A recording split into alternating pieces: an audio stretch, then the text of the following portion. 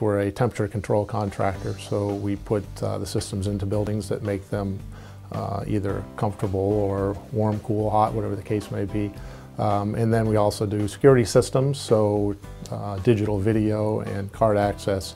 And then we get into some specialty systems as well, um, nurse call and other things within the healthcare market. We have a pretty specific vertical focus, and most of the buildings that we do are larger in size. We probably start about 70,000 square feet and then go up from there. But do a lot of work in, uh, in hospitals. Banner would be probably our largest customer. I uh, uh, went to vocational school in 11th grade, and so I got my union card. Worked full-time as an electrician, went to college part-time.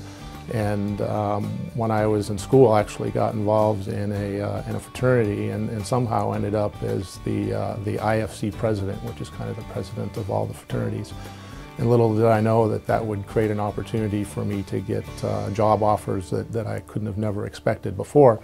Um, so I went to work for Procter & Gamble actually, which was a great job out of college. So from there then I uh, worked for Honeywell for about 10 years, um, learned a lot about the business, made all the mistakes that, uh, that you would want to make while working for somebody else and then got involved with Climatec in the, uh, uh the mid-90s actually here in, uh, in the Phoenix area.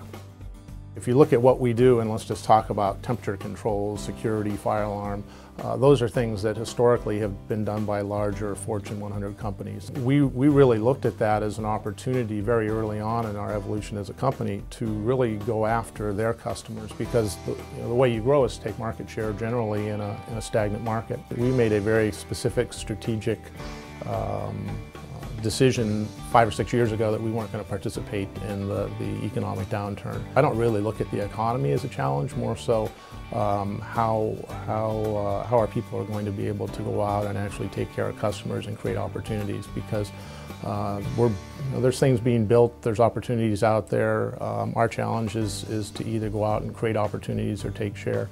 Uh, when I received the call, um, it, uh, it was a surprise because uh, we've always tried to stay under the radar and, and not really in people's, uh, people's sights. To have worked the last 30 years and, and to, uh, to not really to go out and seek the recognition, but for someone to call and say, hey, we, we believe that you've contributed to uh, the construction industry in Arizona um, is a, uh, it's a great honor. I think it allows our folks, our people, to uh, have the opportunity to develop and build relationships and, and to uh, develop their skills. That's how, how we really see CFMA.